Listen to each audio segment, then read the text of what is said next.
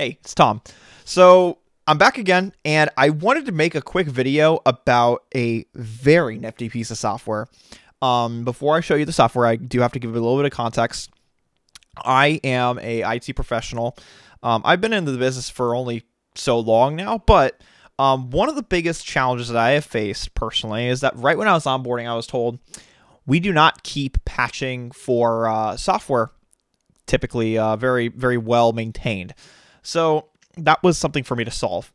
And well, I came up with a solution that would use um, Microsoft Endpoint Configuration Manager or Config MGR for those of you in IT. And alongside that, um, Patch My PC Enterprise, which allows you to integrate um, Patch My PC, it's called, into SCCM or MECM. And it works fantastic. It works so well. Now, here's the thing. I honestly thought that was just a completely like enterprise grade only thing. I didn't think that there was anything like that, like an alternative or something like that for home usage besides like, you know, Winget, like the package manager. Um, I don't like Winget. I think they're trying they tried a little too hard to be like Linux, right, with the terminal stuff, and they're doing that with sudo now. But um, one thing I did like is being able to update things quickly and easily. Um, I found a couple different pieces of software that kind of helped that, with like Winget UI, I think it was called, and just those didn't satiate my need because all those would do is update the packages that you have installed like through winget. Now things that you install without a package manager which uh, spoiler alert a lot of packages inside of windows or a lot of software in windows doesn't actually have a package even distributed yet. Um, especially the more um, obscure stuff um, and that's where this software comes into play so i'm just going to actually cut um, i'm just going to cut to the chase now now I've explained the backstory. Um, this software is called Patch My PC, which you heard me say. This is the home updater version, though. And what this is is it just it, all it is is that it allows you to update your software um, quickly and basically with uniformity. So as you can see here, here's all of my software on my um, computer here. With a single click of a button, I updated all of these pieces of software because everything was out of date. You click Start Updater, and boom, it just it just starts working. Now it shows I'm connecting the EA app and stuff like that. This one might not work. It didn't work for me last time, but I also did close out of it while it was trying to update. So there we go. Now we're up to date. Look at that. I'm going to close out of that. And then you can see Power Toys is already downloading its update too. Um, this thing is really useful. Um, and another reason why I might start using this, and actually this might likely will be the title, is that um, this allows for you to install applications right from their catalog. This one did fail to update, which seems odd. It probably is because I, if I recall correctly, Power Toys requires admin. I could be wrong though. But another thing is their app library. So it, let's say I wanted any of these pieces of software. Let's say I wanted Angry IP Scanner. Click install.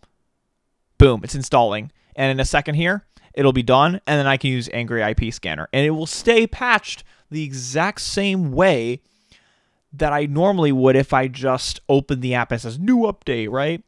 So yeah, there it goes, and now it's installed. Now I can go over here and do Angry IP Scanner. And just like that, we have Angry IP Scanner on here. Um, and then let's say I want to get rid of it. Uh, Angry IP Scanner, uninstall app, run through the wizard, done. Now, I know you can do that with um, Windows, but if you're like me, I rebuke a lot of the Windows updates as of recently. I don't really care for them. I think they're um, kind of destructive to their uh, to their current whole environment. But that's a that'll be a whole separate video. Another thing though that comes with this is let's say you want to get rid of a ton of software at the same time. What you can do is you can use the uninstaller which allows you to uninstall many pieces of software all at the same time, right?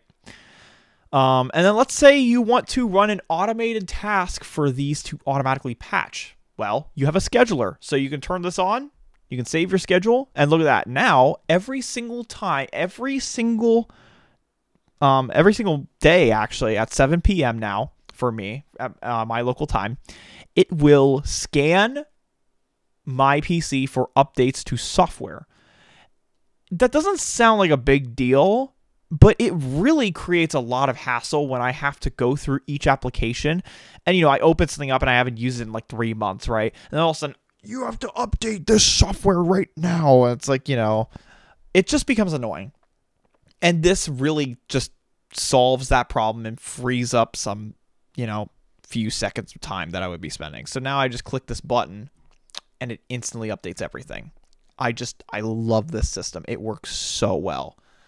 Um, so yeah, not sponsored. Literally just from me professionally using it now um now using it at my home setup and I kind of just wanted to make a video about it cuz you know I I made that obsidian video a while back. Oh, that light theme is terrible though. Um they also have command line options, interesting. But yeah, I also made that obsidian video and I know I wanted to make more computer stuff. Um and you know, my last video, ironically enough, was on Linux, and then or like Obsidian Git on Linux, but for all platforms. Now this is you know something completely different. But you know, I just want to make informative content and share kind of a little bit of my knowledge to people. I just you know I'm sure there will be somebody out there that would really appreciate this because you know I definitely wish I had something like this years ago. Um, so yeah, I'm done with my rant anyway. Uh, yeah, thank you for watching. Thank you for taking your time to watch. So see you later, guys. Bye.